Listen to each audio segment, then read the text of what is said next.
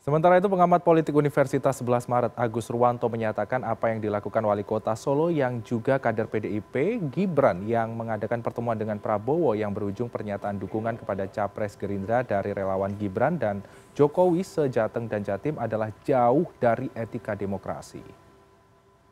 Menurut Agus, Gibran tak loyal dan seolah ingin mengatakan bahwa ia bertindak sebagai dirinya sendiri padahal ketika seorang menjadi kepala daerah yang diusung partai maka ia akan bertindak atas nama partai bukan sebagai diri sendiri.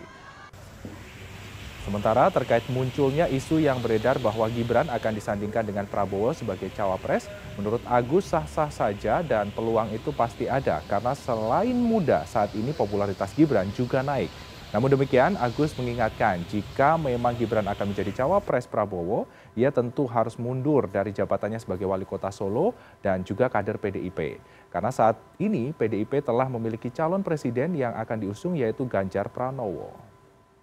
Ini adalah bagian dari ketidakloyalan terhadap partai politik yang mencalonkan dirinya.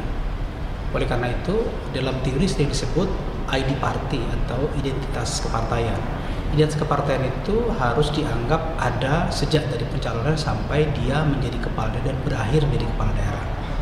Jadi agenda partai mesti didukung, diikuti dan dianggap sebagai identitas yang mesti uh, dipatuhi.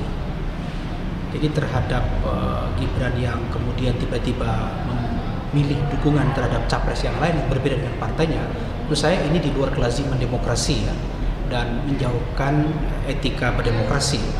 Dan itu seolah-olah ingin mengatakan bahwa dia bertindak seperti dirinya sendiri